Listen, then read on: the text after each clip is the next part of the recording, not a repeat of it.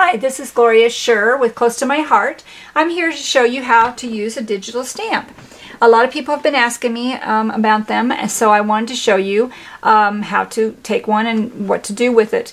So first you find you can go to Google and search for free digital stamps or right here I found one at the Whoopsie Daisy blog spot and it's um, you can just go to Google and search Whoopsie W-H-O-P-P-S-I-E Daisy dot blogspot.com but I will um, give you the address on this video as you watch it so basically I went in there and there's a freebie here sometimes it says download under it but this one doesn't so you just right click with your mouse and go to copy this is one way to do it. There's more than one. Go to your Word document and then you paste it, okay? So now this little digis here and right click again. You'll see the measurements here. It's 4.17 for the height and 2.94 for the width. Now 4.7 is bigger than what I want it. I usually um, put it down to around 3 or 3. This one I'm going to leave 3.5 because you can see there's space above it and there's space below it. So that's adding into that 3.5. So you don't have to, you know that there's at least another probably um, half an inch of space that you don't need. So it's going to be about three inches for the little girl. So now she's done. You can see there's still a square around there. I don't know if you can see that very well or not, that there's a square around it to show you what space is, is um, I'm going to zoom in a little bit to show you that the space around it.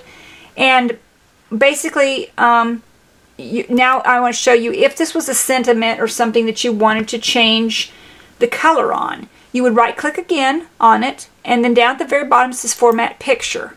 And then you go to, there's all kinds of things you can do to this. I don't use any of those, but I do go to picture color if it's a sentiment and I want to change the color of it.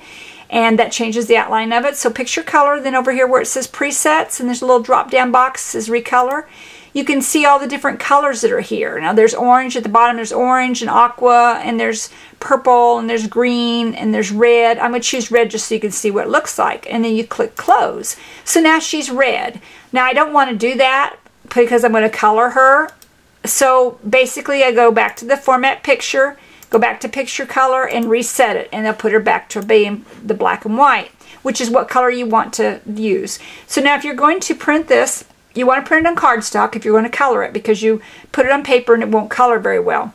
So the best thing to do is um, to go into your function into your system and you should have on if you go into the left hand corner of most computers I don't know about the Mac but the, there should be a thing that says devices and printers or you can go to your control panel and find it so devices and printers and you go into your printer and right click it. Mine's HP. This is how I do it on mine. Now yours may be a little bit different. Then it's going to say printing preferences and you go over here to your product, which mine's the HP. You want to change the paper and the quality. You're going to change the paper. See how it says plain? I don't know if you can see that or not. It says plain paper. And so I'm going to change it to uh, cardstock. And that's the last one on the list. So I'm changing it to cardstock. And um, I'm going to zoom back out of this so you can see what I'm doing. And then I'm going to change it to best for the quality settings because you've got best, normal, draft, or custom, and best is what I usually do. So then you're going to say apply, and it's going to say, "Can I? Do you want me to resolve the conflicts?" And I say yes because I've got it where it double sides, and you can't do that when you're printing these. So then I do OK. So now it's ready to print, and I just shrink this down so I can change it back, and then I would just go up to the print and print it and do a page, um, which I'm not going to do uh, at this time well, I could print it, but it's going to be, it's not going to be cardstock. So I'll just print this little girl so you can see what it looks like. She's going to print off of there. And um, then what you do is you can actually put it in your Cricut if you wanted to. This is what I do a lot. I'll put it in my Cricut and I'll do center point and I'll find the center, estimate the center, what I think is her center. Uh, I usually measure her first to make sure how exact she is. Not how big this square is, but how exact she is. So here's a picture of her. And you can see she's um, not very big. Uh, you could probably make it this a little bit bigger. So she's probably not more than three inches at the most. I don't think she's that big. But I measure her and estimate where the center point is for her. And then I put it in the Cricut and use the center point button. And then I pick out the shape, of course, what I want to do uh, with her. You can put her in any kind of shape you want. There's frames. There's all kinds of things you can do with it. Or if you have spellbinders, you can put her put it in a um, spellbinders into the uh, whatever you use a Cricut. I mean a cart. Um, sorry, Cuttlebug or your um, Grand Calibur. I have the Grand Calibur and the Cuttlebug. I use Grand Calibur the most. And you can put a frame around her, find one that she fits in, and cut it out and then color it. I usually cut it out first because what I've found is if I color it first, I will discover that I mess up on it and then I will have um, have to start all over again. Either way, you can color it first, you can do the cutout first. I like to do the cutout first. And then you go from there to make your make your card. Um, so it's pretty easy to use and uh, if you have any questions um, hopefully that you can uh, find um, other videos or you can send me an email and I'll put my email uh, um, put my blog spot on there for you to go to. I use lots of digitals so you can see different ways to use them and different ways to use your products. Um, again, you, you're once you right click and copy you're going to paste it onto a Word document. That's the only way that I know of that you can change the, the size and everything of it. There's probably other ways to do it, but this is the way you change the size and stuff is to right click on it after it's saved.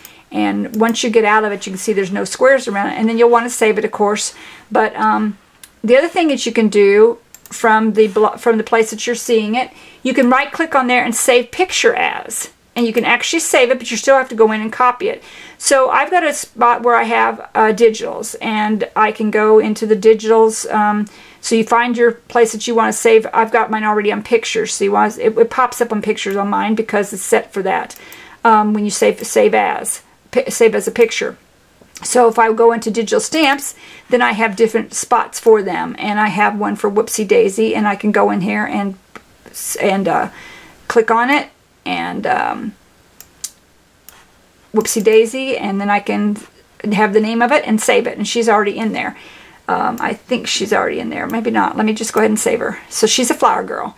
But anyway, that's a freebie, so you can color her. And if you want to know how other people have colored her or how other people have done this since it's new for you, you can also go into Google.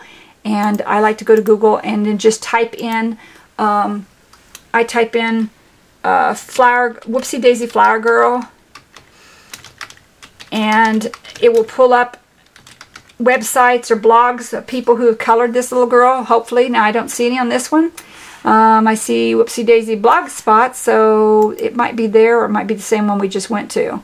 No, this is the Whoopsie Daisy blog spot, and but I don't see any pictures. But that's how you do. You just look and see if you can find one of uh, somebody else who's colored it and um, let's see if there's anything. This says just freebies. Uh, that's she's already that's on another website that's free ones. So just play around with it, and like I said, you can email me if you have questions, and I'll be glad to walk you through it or help you out in any way I can. So thank you, and have a fantastic day, and hope to see you soon. Bye.